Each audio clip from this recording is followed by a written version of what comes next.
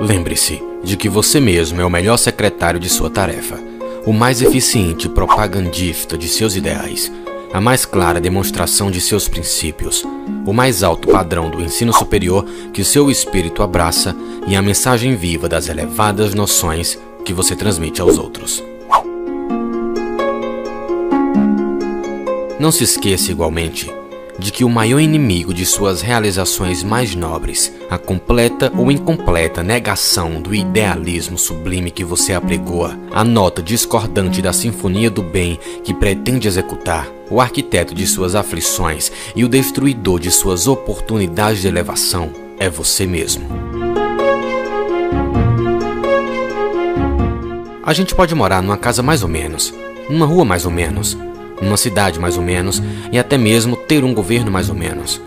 A gente pode dormir numa cama mais ou menos, comer um feijão mais ou menos, ter um transporte mais ou menos e até ser obrigado a acreditar mais ou menos no futuro. A gente pode olhar em volta e sentir que tudo está mais ou menos. Tudo bem.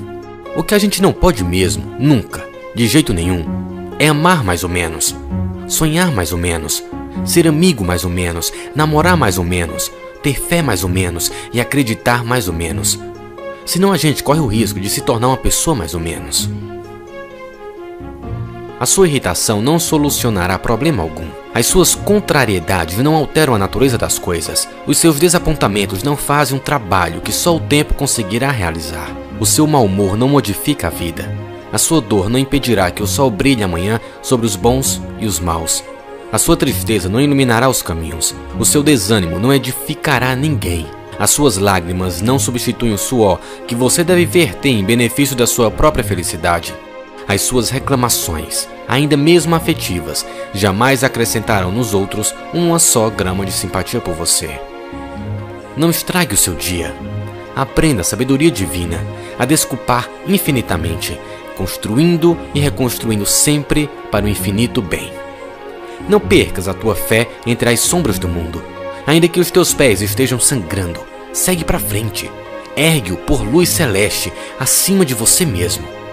Creia e trabalha nisso. Esforça-te no bem e espera com paciência. Tudo passa e tudo se renova na terra, mas o que vem do céu permanecerá.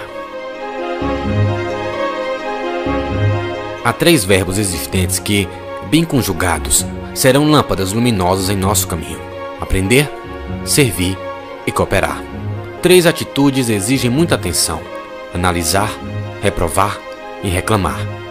De três normas de conduta jamais nos arrependeremos: auxiliar com a intenção do bem, silenciar e pronunciar frases de bondade e estímulo. Três diretrizes manter-nos-ão invariavelmente em rumo certo ajudar sem distinção, esquecer todo o mal e trabalhar sempre.